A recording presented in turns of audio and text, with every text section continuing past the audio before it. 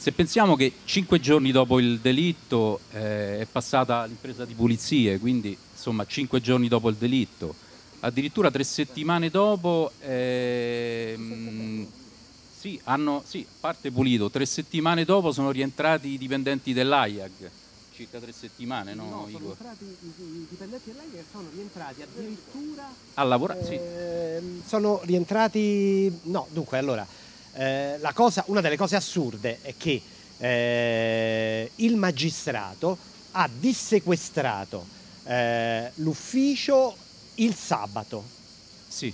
ed è stato riconsegnato il- il- l'omicidio è stato commesso Sì. martedì Il ed è stato sì. dissequestrato il sabato e ehm, il lunedì mattina un'impresa di polizie è entrata dentro e ha E ha naturalmente praticamente- E no, poi alcuni mesi dopo addirittura ha traslocato l'AIAG, quindi praticamente è ha cambiato traslocato sede, alcuni quindi, mesi dopo. eh, mobili e quant'altro poteva essere utile all'indagine.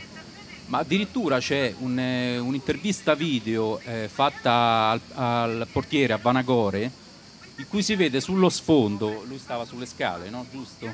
Sullo sfondo si vede una macchia di sangue nitida sul muro e alcuni giorni dopo la macchia di sangue scompare e al posto della macchia c'è un, un enorme buco. di questa dimensione. Quindi insomma abbastanza particolare. Inoltre, sì, nella guardiola, sì. Inoltre um, un'altra leggerezza è che non è stata presa la, la temperatura corporea, o meglio, è stata presa ma è stata vanificata per il semplice motivo che non è, stata fat- non è stato fatto il confronto con la temperatura ambientale, sia interna degli uffici che esterna. Questo è fondamentale poi per stabilire l'orario della morte di Simonetta, perché noi adesso ci rifacciamo l'orario di Simonetta in base ad alcuni parametri che potrebbero essere chiaramente smontati. E sono il fatto che il computer ha iniziato a lavorare, quindi è stato acceso alle 16.37, ha una eventuale, io, io dico eventuale, telefonata intorno alle 17.15 che Simonetta avrebbe fatto a Luigia Berrettini dell'AIAG per chiedere consiglio per quanto riguarda eh, l'immissione di alcuni dati al computer e una telefonata di risposta da parte della Berrettini intorno alle 17.35. Alle 18.30 si doveva poi sentire Simonetta Cesaroni con Volponi, col datore di lavoro, cosa che non è avvenuta. Quindi abbiamo una forchetta che va dalle 16.37, diciamo 16.40, fino alle 17.40. Questo è il lasso di tempo in cui dovrebbe essere avvenuto insomma, eh, l'omicidio.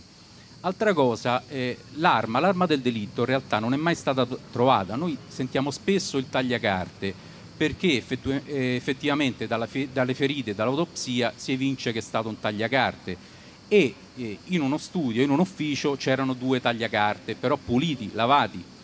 Questo è molto importante perché eh, non stabilisce con esattezza che l'arma del delitto è stata presa dallo studio, dall'ufficio, ma era possibile anche il fatto che l'omicida portava con sé l'arma, un altro tagliacarte, magari era una persona che frequentava l'ambiente AIAG, l'ufficio, e sapeva che comunque in un ufficio ci sono dei tagliacarte. Tutto qui sposta il problema, cioè perché?